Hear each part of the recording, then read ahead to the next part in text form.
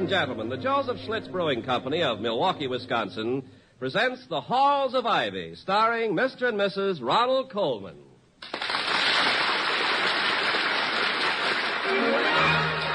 I was curious. I tasted it. Now I know why Schlitz is the beer that made Milwaukee famous. If you like good beer, you'll find it pays to be curious and learn about Schlitz for yourself. And now, the Halls of Ivy. the halls of ivy that surround us here today,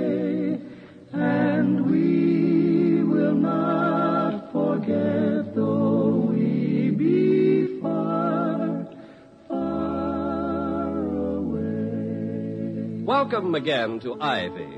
Ivy College, that is, in the town of Ivy, USA. Five people didn't go to bed at all last night here at Ivy.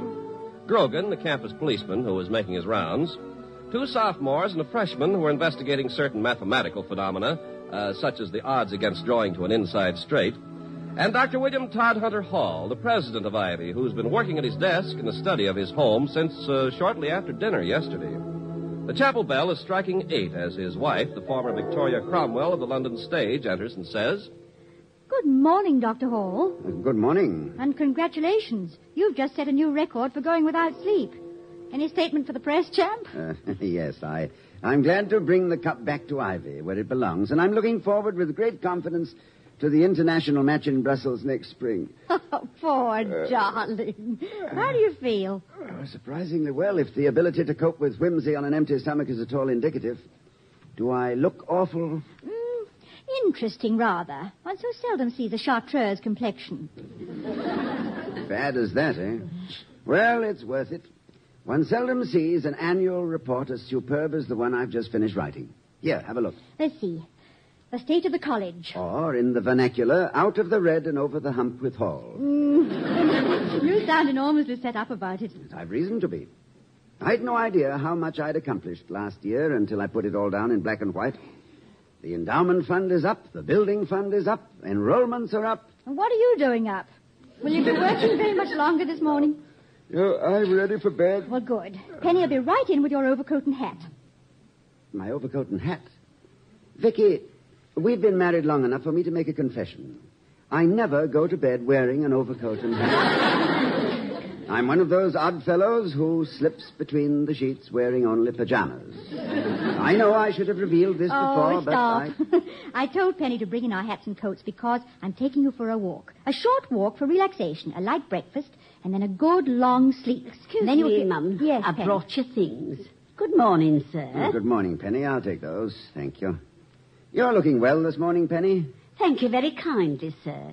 And you're looking. It's a very nice morning for a walk. You don't say. yes, sir. It snowed last night, the first real snow we've had this year, and it's ever so lovely. Makes one want to go out and throw snowballs at top hats.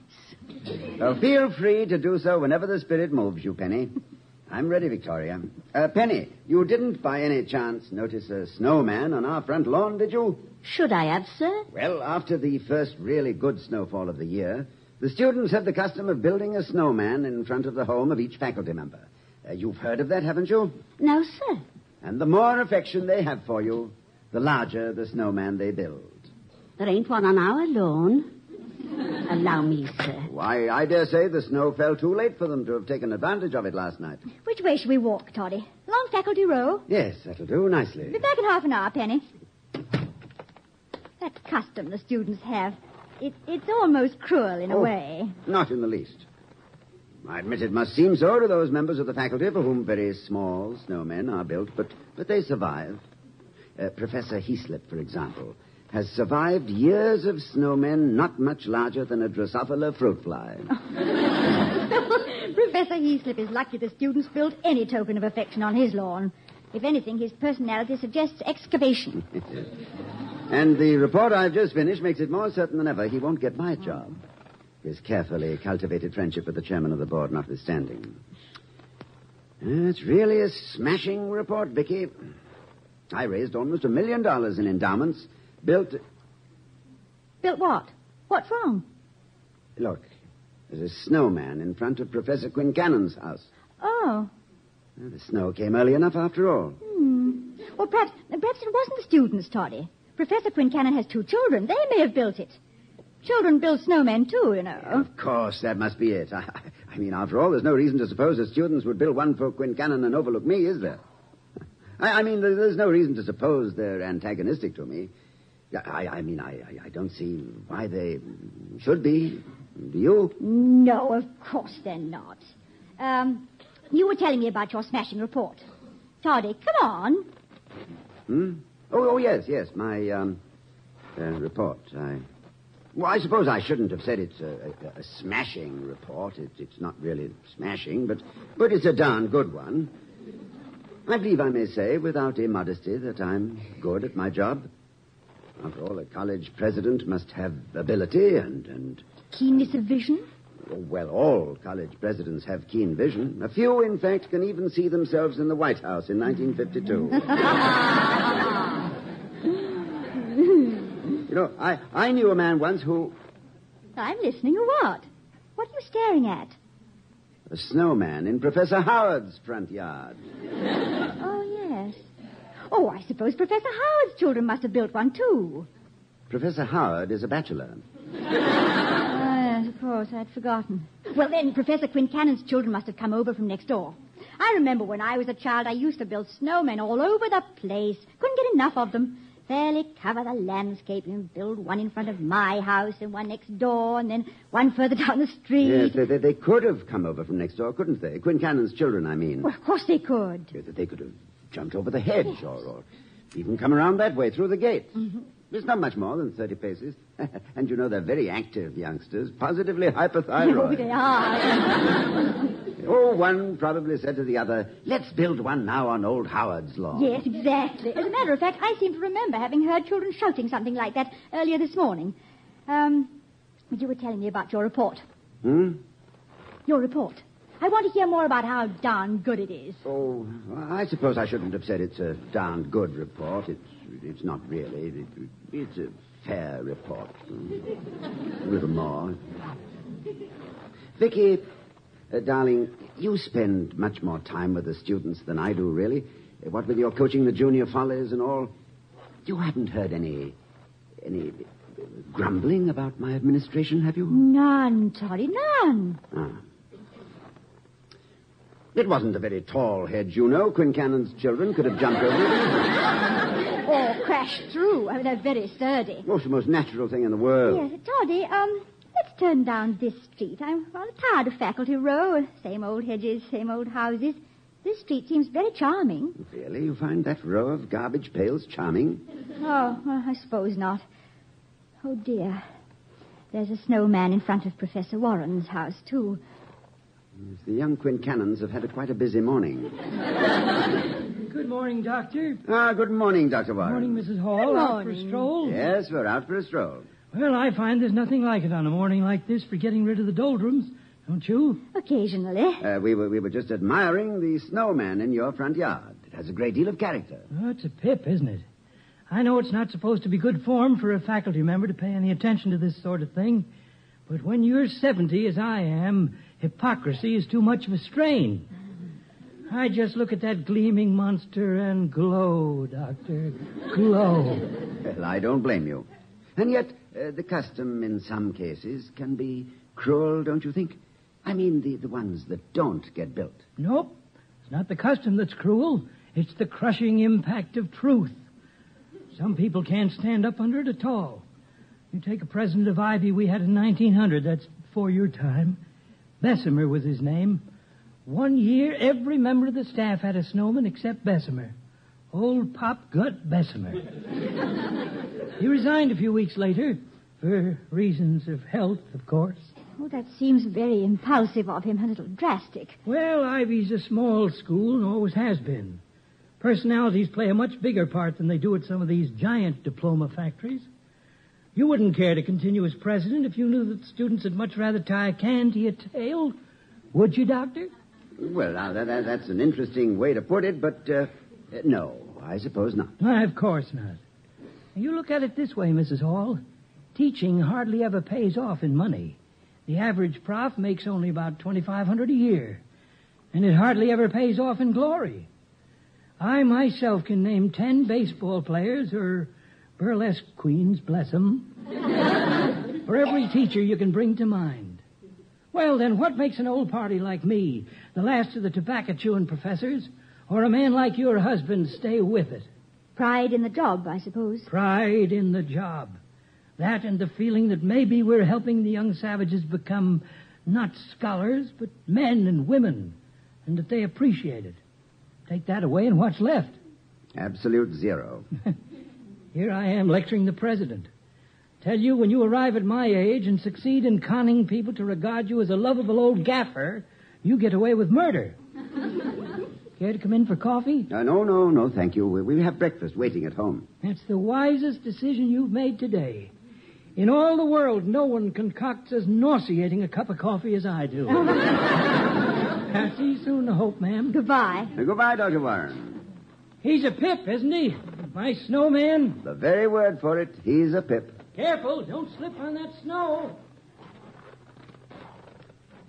Uh, by the way, Vicky, um, did I did I tell you I received a letter from Quesnel University this week? I don't believe you did, Toddy. Why? Well, they haven't heard of the renewal of my contract as president here at Ivy, and they've made me a very flattering offer.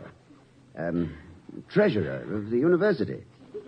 At almost the same salary I have here. Toddy. Uh, further, and, um, oh, perhaps of more importance, it's, uh, it's a purely administrative job. I wouldn't come into contact with students at all. Not, not, not ever. Toddy. They requested the, the courtesy of a reply this week. It's, it's really a most flattering offer. I, I, I rather think, uh, think I'll accept. Yes, yes, I think it would be best.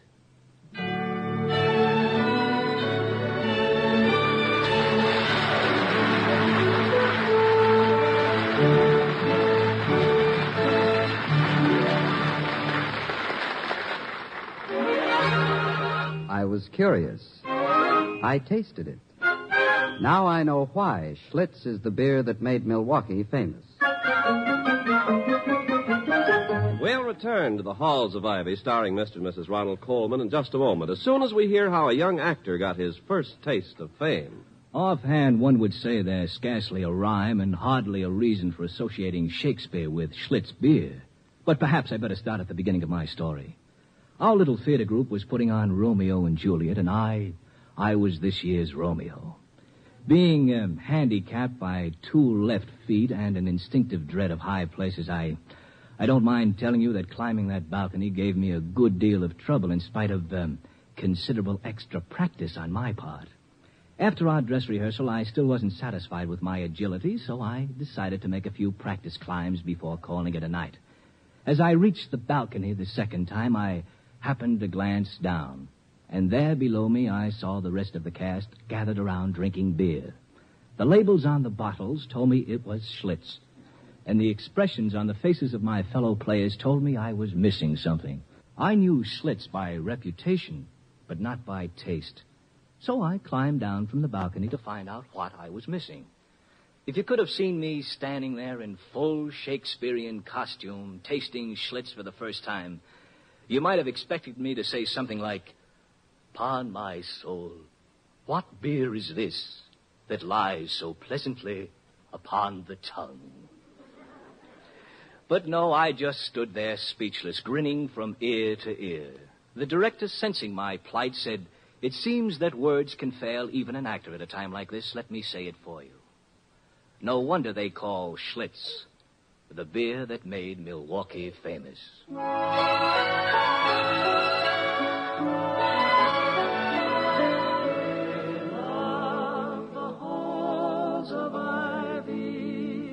that surround us here today. Returning to the halls of Ivy, we find a dispirited Dr. Hall strolling in the snow along Faculty Row with Mrs. Hall. You're very quiet, Victoria. Hmm, I know. I'm concentrating. trying to think of the right thing to say. Oh, you don't have to say anything, my dear. The silent eloquence of the students has left very little unsaid. Toddy, I know how you must feel. In a small way, I've been through it a number of times in the theater, playing for laughter and applause and getting the rustle of programs and a few coughs. You can say to yourself, chin up and good show and carry on, all that. And over it all, you can hear the lorries backing up to the stage door to haul the scenery away. Oh, this time they're going to haul the actor away from the scenery. And after I'd convinced myself that I'd given such a sterling performance. a Smashing report, indeed. Would it help if I tried a recital of Kipling's If? It kills them in the provinces. It's likely to prove lethal here, too. But thank you, my dear, anyway. As organizer and sole member of the William Todd Hunter Hall fan club, you've done some noble work. Oh, Toddy, you don't have to try and laugh it off for me. Get it out of your system, darling. Blow up. Curse the Board of Governors. and their promise that I wouldn't have to spend my time wangling emoluments. Curse my folly in believing them. To the devil with all fatheads who kept me away from the students. Bah! Oh, that was lovely. No wonder they feel no affection for me. I'm so seldom with them. Not, not that to know me is to, to love me, you understand. I understand nothing of the sort. I know you very well, and I'm mad about you. How difficult it is to. Oh, thank you, my dear. How difficult it is to maintain contact with the student body. One college president I know scheduled a speech to the senior class for the sole purpose of proving that he actually did exist. Oh, And that. That's what's wrong with my report. Toddy, I'm sure it's a superb report. No, on the contrary, I, I omitted all reference, beyond a few statistics, to the most important part of any school, the students, and what they think about the state of Ivy. I should have found time to teach more courses. Look at Hutchins at Chicago and Conant at Harvard. The students are what make a college, not campus buildings and installations. Diogenes discoursed from a tub, and his students listened, and it was a school. Toddy, look, talking of tubs, I see Professor Heaslip Well, through this hedge. He's just leaving his front door. is there a, a, a snowman on his lawn? Yes, a very small one, which he has just made larger with two handfuls of snow. Oh, oh, he's heard us and stepped back. Well, hello there. Good morning, Skipper. Good morning, fair lady. Good morning. Uh, good morning, Heaslip. It's a nice snowman you have there. Yes, it's a very nice little one. Oh, you should have seen it before the sun came up and melted it. Amazing how quickly it went. Uh, this is the warmest part of Faculty Row, you know. Oh, really? I found the whole area very cold. Oh, that's a mistake, Skipper. That snowman was inches lower. I, I mean higher a few minutes ago. It melted down considerably. Also, the boys and girls happened to have chosen a slight dip in the ground in which to build it. Actually, much taller than it looks. Optical illusion, you know. Not that I pay any attention to such things, of course. Of course. I'm happy the students like me as much as they do. Of course. I've often asked myself why. Naturally, I don't court their affection. I'm very strict, but uh, fair pedagogue, if I say so myself.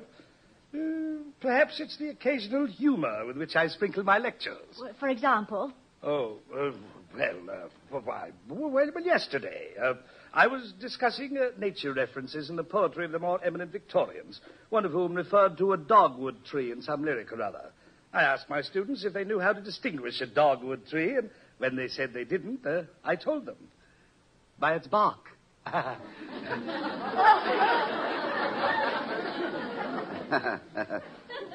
well, uh, I must be getting to class. Uh, good morning, Skipper. Good morning, Heaslip. Good morning, fair lady. good morning. The warmest part of Faculty Row, indeed. Ha! And yet, for the sake of that little snowman, I think I'd almost be willing to change places with Heaslip. Hmm, it'd be a little bit rough on me. What do the boys and girls, as he calls them, see in the man? Well, it's true he has no enemies, but that's more than balanced by the fact that none of his friends like him. Well, let's turn back, Toddy. Oh, this is probably one of the last times we'll ever stroll along here, Victoria. It's an attractive little street, isn't it? Yes, I've lived here a long time. and I've loved it here. You see that house across the way? Mm-hmm. I had a furnished room there when I was an instructor. On the top floor. Kitchen privileges. Female visitors permitted only as far as the front parlor. Please turn out the light before leaving the room. Mm, Liberty Hall, wasn't it? Then, when I was appointed assistant professor, I moved over to this side of the street. Sitting room, bedroom, and bath. Hot plate permitted. No wild parties. oh, what exactly was a wild party at Ivy in those days? If I remember correctly, more than two people laughing at the same time. uh, but then, then I allowed my appointment to a full professorship to go to my head, and, and I rented that Charles Addams mansion over there. Oh, it wasn't a Charles Addams mansion. It was a wonderful old place to live. Yes, it was, wasn't it? I mean, after I brought you there. It was fairly empty when I occupied it all by myself. It echoed. Empty and unsatisfying, and nothing I did with it new furniture, new drapes, fresh paint seemed to propitiate the fat little gods of the hearth. Until you offered them me as a human sacrifice, eh? You might very well have been mistaken for a human sacrifice as I handed you down from the taxi that first morning. You were scared to death. Yeah, I was. I'd never had a home of my own before. Just hotel rooms and flats and theater dressing rooms. Now, here we are, driver. And, uh, and this is for you.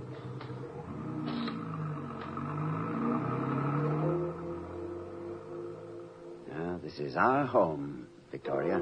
Oh, William. It's exactly the way I imagined it. All covered with vines and so very peaceful and quiet. And oh, look! My name's on the letterbox.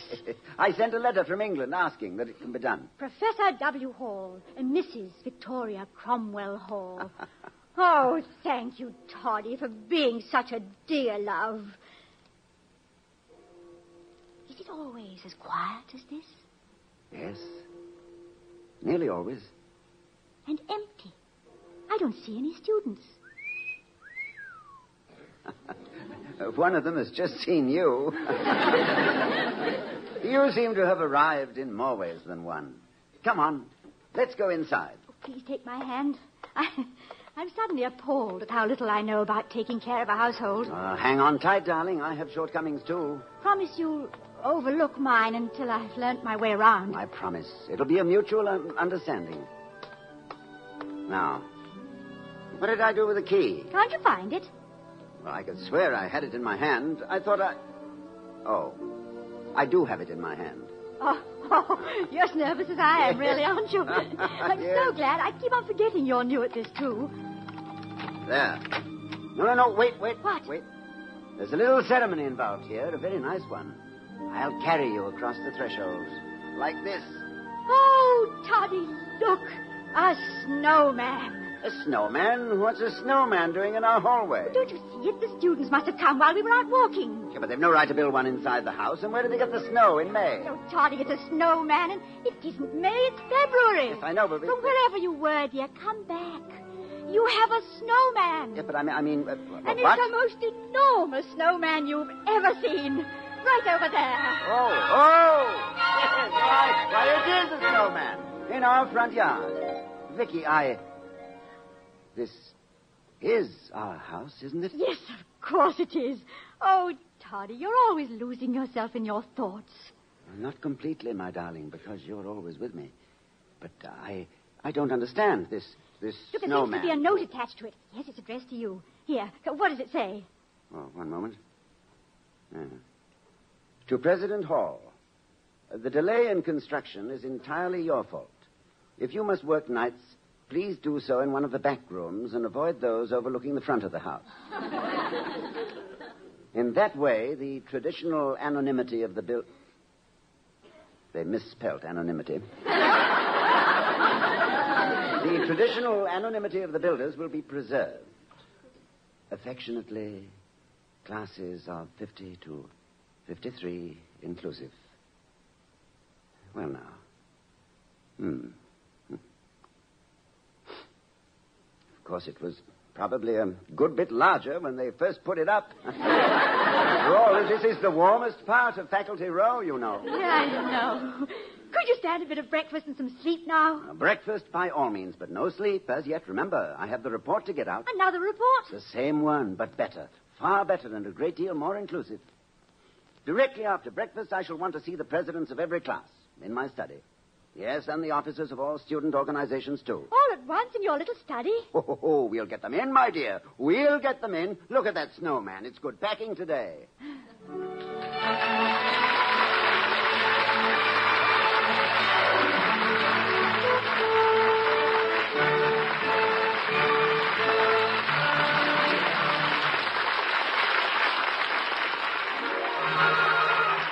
curious. I tasted it. Now I know why Schlitz is the beer that made Milwaukee famous. And now, here again is Mr. Ronald Colman. The campaign to fight heart disease, this country's leading cause of death, is now underway. Diseases of the heart and blood vessels take an annual toll of more than 600,000 men, women, and children. A staggering number indeed. This dreaded menace accounts for one death out of every three, a greater toll of lives than the next five causes of death combined. This year, give generously in support of this wonderful cause. Send your contributions to Heart, care of your local post office. Open your heart, give to fight heart disease. Thank you. Good night. Good night, everyone.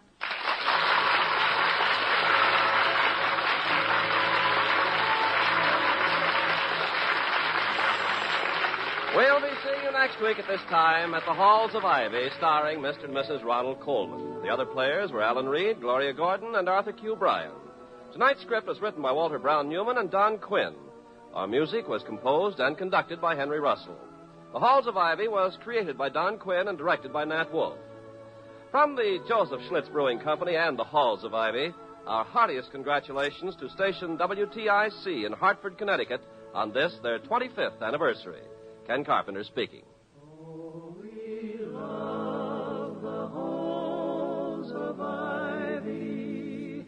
That surround us here